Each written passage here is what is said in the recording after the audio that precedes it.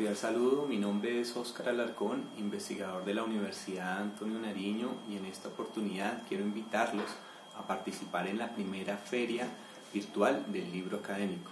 Este evento se realizará entre el 21 de abril y el 5 de mayo dentro del contexto de la Feria Internacional del Libro de Bogotá. Este evento eh, está organizado por 16 universidades, el libro y Red Books.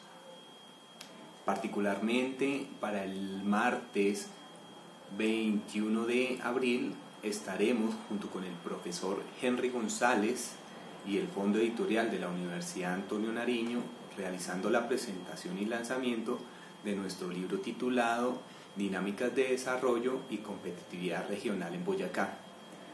Trataremos temas como modelos de competitividad en el contexto económico del departamento, desequilibrios regionales y procesos de desindustrialización.